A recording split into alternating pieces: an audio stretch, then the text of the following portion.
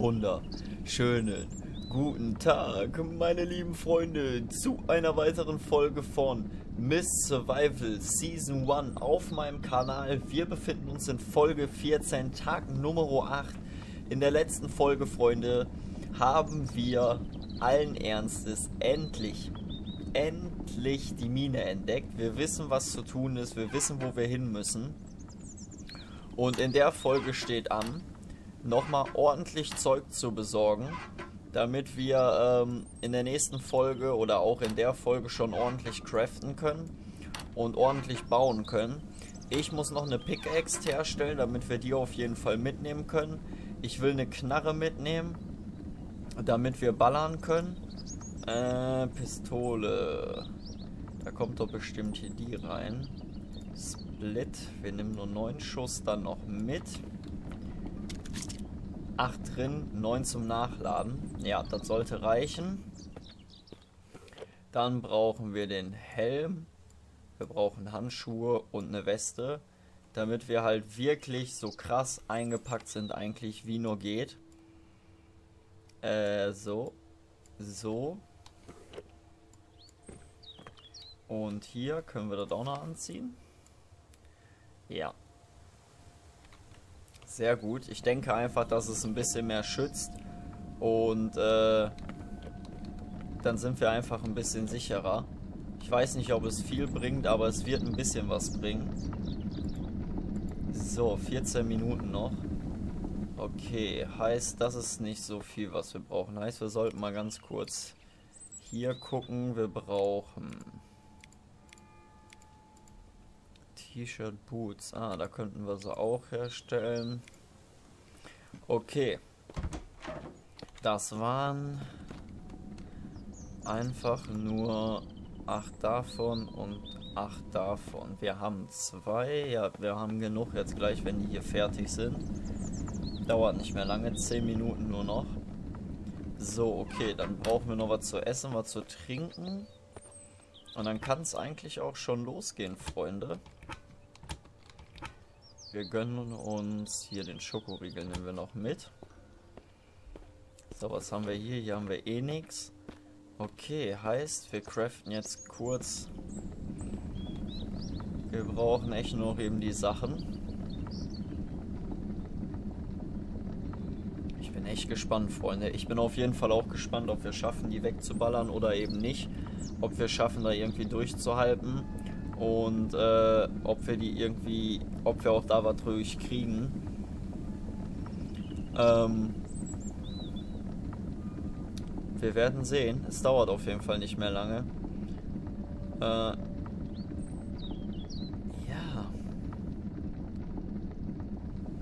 Komm schon, give it, give it to me.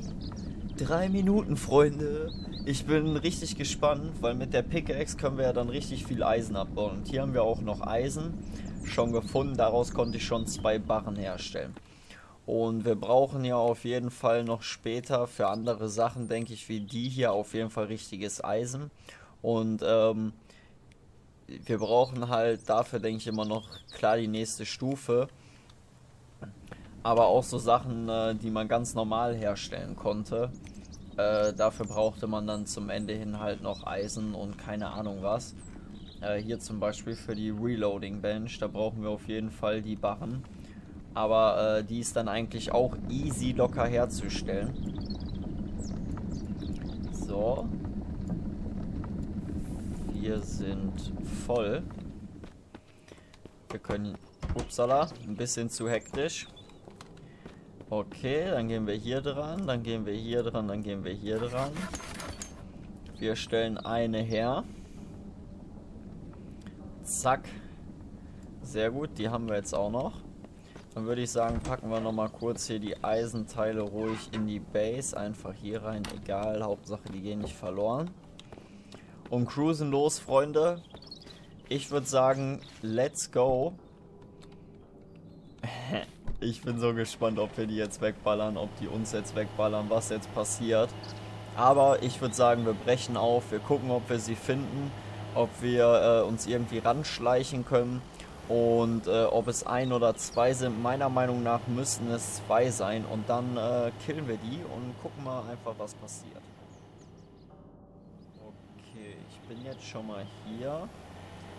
Werde jetzt hier an der Tankstelle halten. Dann kann ich das Auto hier nämlich immer noch mal ganz gut abholen. Falls sie uns irgendwie doch platt machen sollten. So. Motor aus, aussteigen. Und hier rüber. Zack, ich würde sagen direkt in der Hocke. Sobald wir hier oben sind, knarre schon mal raus. Wir werden schon gesehen.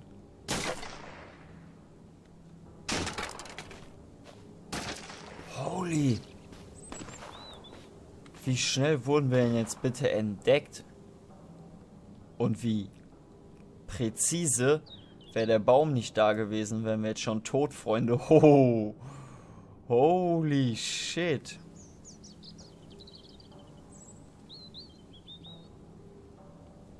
Von wo?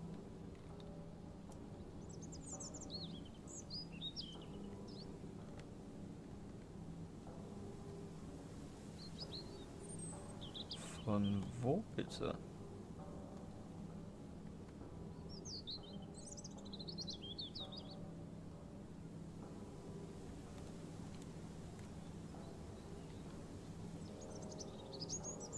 Okay, ich sehe keinen. Ich höre auch keinen.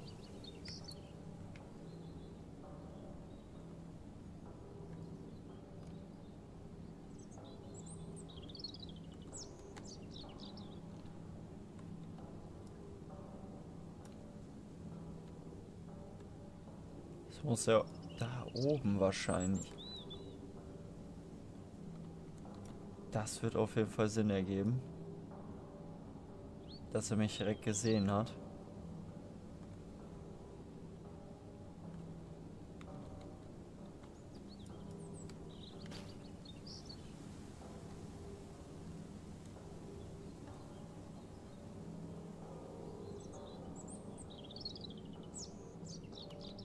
Da ist er. Ich habe ihn gesehen.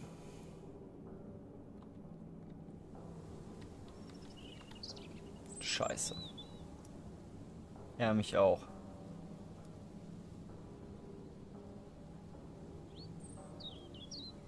Dreh dich um oder so. Vielleicht ist es auch nur der eine.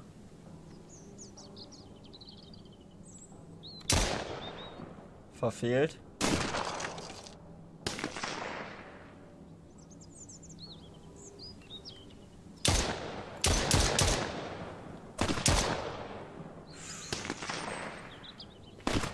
Never! Es ist so übertrieben, Freunde. Und ich habe vergessen zu speichern. Euer Tipp.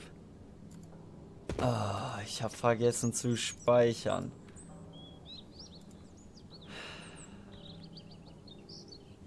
Oh no. Fangen wir nochmal von vorne an. So, Freunde. Safe Game.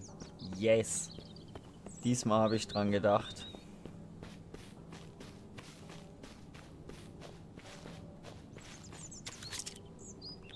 So, jetzt aber nochmal. Hier steht auch noch ein Autoreifen. Da haben wir schon vier.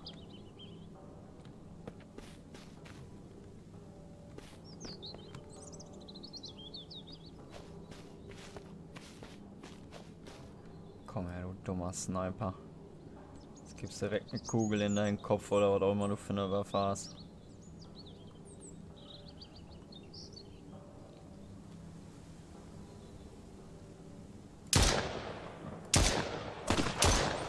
So dumm!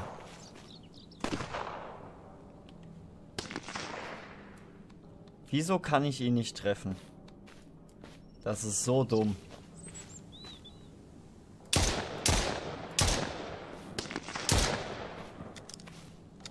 Aber die mich oder was? Den habe ich.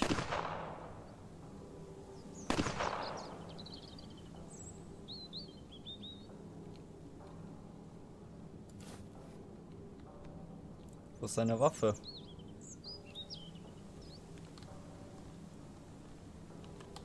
Als ob die keine Waffe fallen lassen. Heißt, alles stört.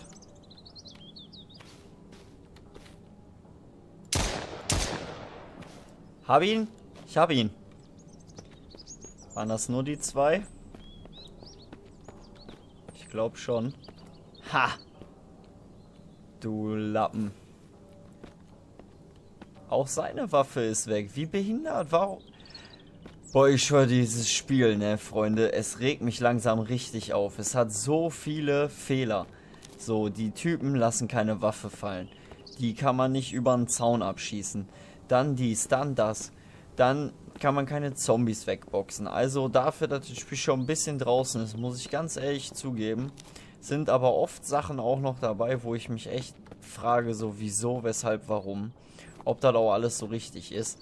Ich habe keine Ahnung, aber teilweise mir das einfach nicht so ganz richtig vor. Und ich sage nicht, dass das Spiel schlecht ist, Freunde, aber ich werde auch nicht mehr sagen, dass es eins meiner Lieblingsspiele werden könnte.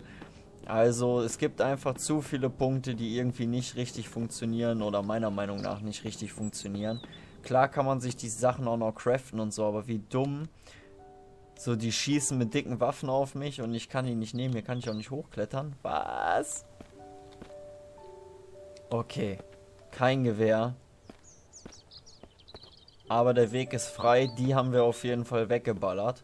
Heißt, wir können jetzt hier ganz seelenruhig immer wieder mit dem Auto durch und äh, weiter looten. Aber wie ärgerlich ist das denn jetzt?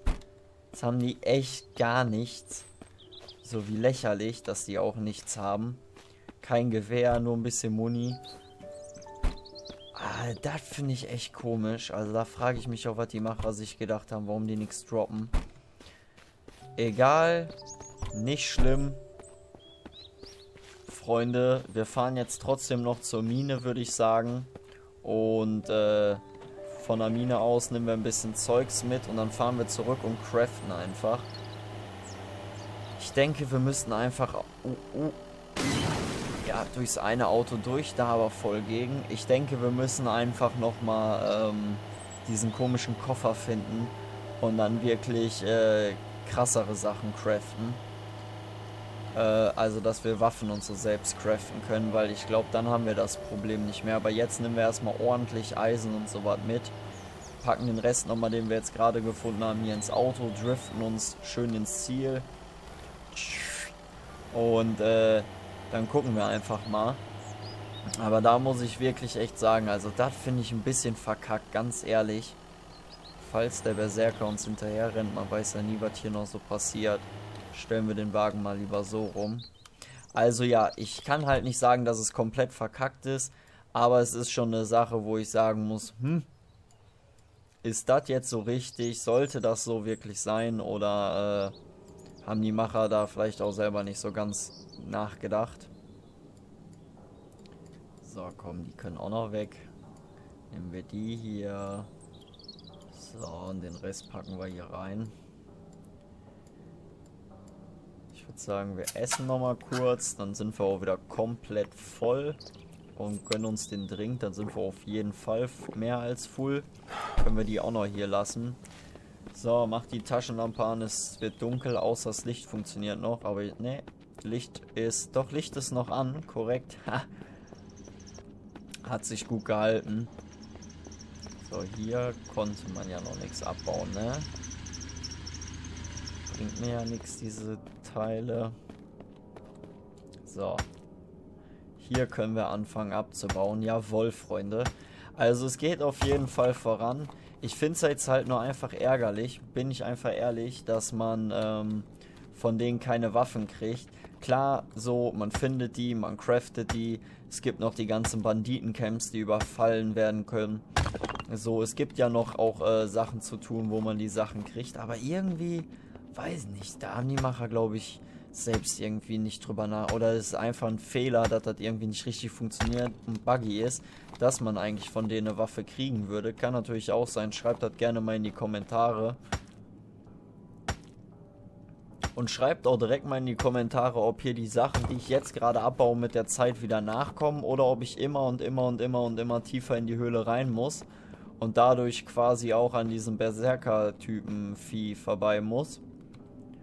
Oder ob ich äh, auch einfach so weitermachen kann. Und hier immer wieder die paar Sachen irgendwie alle zwei, drei Tage wieder respawnen.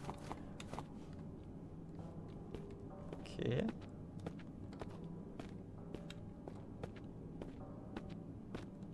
Da ist aber auch nichts mehr, ne? Erst da hinten wieder. An dem renne ich jetzt bestimmt nicht vorbei, an dem Bruder. Okay. Hier ist aber nichts mehr. Hier ist auch nichts. Hier ist auch nichts. Hier ist leider nichts mehr. Hier ist leider nichts mehr. Und hier fängt auch nichts mehr. Okay. Ah, wir haben ein bisschen was rausgeholt. Was haben wir denn? Wir haben fünfmal Eisen, Zink und Sulfur. Also ein bisschen was haben wir ja. Ich würde sagen, damit erstmal zurück zur Base. Und äh, an der Base können wir immer noch mal gucken, äh, was wir jetzt erstmal schon mal daraus herstellen können. Und wie gesagt, Freunde, ich denke, am schlausten wäre halt wirklich mal Pfeil und Bogen mal gucken. Ah, stimmt, die Falle haben wir auch noch nicht geguckt. Und dann mit Pfeil und Bogen einfach versuchen, ähm, mal ein bisschen präziser zu werden und dann so die Leute wegzuholen. Wir haben auch noch gar kein bisschen Spritverbrauch. Ne? Wir haben immer noch 18 Liter, genau wie beim allerersten Mal. Ja, also das sind alles so Kleinigkeiten. Einerseits, klar, hätte ich jetzt nur ein Liter drin und kann die ganze Zeit fahren, ist es natürlich gut. Aber andererseits sind das irgendwie, auch hier so, da war ich doch gar nicht dran. Sind das alles so Sachen, weiß ich nicht, die stören mich so ein bisschen. So am Anfang hat das Spiel megamäßig Bock gemacht, so langsam lässt es ein bisschen nach. Deswegen versuche ich jetzt halt auch die Folgen über wieder mal ein bisschen mehr zu... Oh, wie ein Gott. Ähm, ein bisschen mehr zu schaffen in Richtung von Banditencamps angreifen, in Richtung von Craftings, in Richtung von Sachen erleben, wie jetzt, dass wir mal wieder Banditen angegriffen haben, in die Mine gehen, Sachen abbauen und und und. So. Vollbremsung. So. Dann geht's hier runter.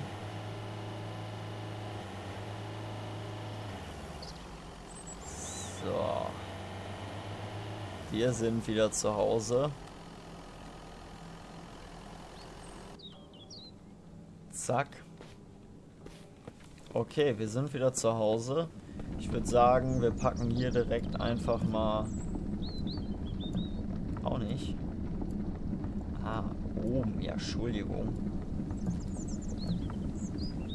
Okay, das geht wirklich nicht hier drin. Ist aber wenig. Das ist aber echt wenig, was wir da rausbekommen. Dafür brauchen wir Zucker, die Flaschen und Wasser. Hier kommt nur Wasser rein. Hier kommt Streichholz, das Wasser und dann wird es zu sauberem Wasser. Hier ist der Mülleimer. Hier können wir noch Holz dran schneiden. Sulfur. Wofür brauchen wir denn Sulfur? Vielleicht dann noch für die Waffen, ne? für die Munition und so. Das könnte ich mir noch vorstellen. Kommt auf jeden Fall mal einfach hier rein. Äh, wir können auch mal hier gucken. Schränke, Tische, Stühle, Zielpuppe, Häuser, Farm. Hier ist nur das stelle ich aber anders her. Okay. So, und hier haben wir noch die einfachen Sachen. Da, Sulfurpulver. Ja, die wird man dann wahrscheinlich wirklich für die Munition einfach brauchen. Okay, heißt, wir brauchen also immer noch hier dieses komische Ding, ja, was auch immer das ist. Oder wir stellen halt, äh, stimmt, wir wollten noch mal gucken, ob irgendwas in der Falle ist, aber ich denke mal, da muss unbedingt was rein.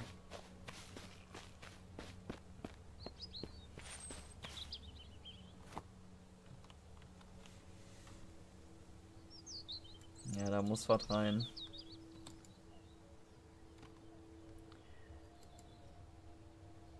Aber was denn?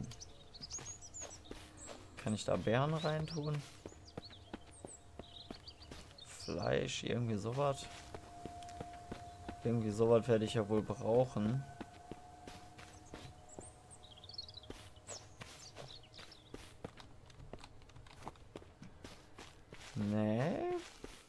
Sammeln wir einfach den Rest da. Blueberry Yum Yum. Rinder mit in den guten. So. Kann ich das da reintun? Ja. Aktiviere die Falle. Mal sehen, ob es jetzt klappt. Okay, Freunde. Ich hoffe, euch hat die Folge gefallen. Banditen platt gemacht. Nicht wirklich viel rausgekriegt. Wir haben außerdem quasi durch die Banditen auch den Weg frei zum Cave gemacht. Ähm, oder Cave, Mine, wie auch immer man es jetzt nennen will. Und äh, ja, die nächsten Folgen über steht dann auf jeden Fall noch an, dass wir ähm, weiter craften. Gucken, was wir jetzt mal so ein bisschen herstellen können noch und die Sachen halt nach wie vor immer weiter und weiter und weiter machen. Und wenn wir das dann alles erfüllt haben und so langsam in Richtung fertig sind, äh, würde ich sagen, fangen wir mal an, die Banditencamps zu überfallen oder irgendwie in die große Stadt vorzurücken ähm, und da dann ein paar Sachen herzustellen. Ist natürlich alles jetzt erstmal noch so ein bisschen, wir gucken, was wir hinkriegen und was wir wirklich schaffen und äh, wo wir nicht drauf gehen. Aber eigentlich, man muss es jetzt, glaube ich, langsam einfach mal riskieren. Und äh, das ist so der Plan. Und ansonsten einfach mal sehen, was noch so kommt, was wir noch so erleben, was uns noch so erwartet. Wie gesagt, wir müssen auch noch weiter in die Mine, aber ich denke, der Berserker wird mal nicht so easy beiseite zu schaffen sein. Sonst hätte der nicht so dicke Lebensanzeige. Der sieht schon eher aus wie so ein Endgegner, kann man schon sagen. Aber äh, egal, wir werden das schon irgendwie schaffen, würde ich sagen. Die Sonne geht auf jeden Fall unter, Freunde. Ihr wisst, was der Plan ist und ich würde sagen, vielen lieben Dank auf jeden Fall an jeden, der bis hierhin zugeschaut hat, die ganze Folge sich wieder reingepfiffen hat. Und äh, ich würde einfach mal sagen, Freunde, bis zur nächsten Folge oder bis zum nächsten Livestream. Macht es auf jeden Fall alle gut. Abonniert diesen Kanal hier, um nichts mehr zu verpassen. Ich würde mich freuen und würde sagen, macht es gut, Freunde. Haut rein. Bis zur nächsten Folge. Peace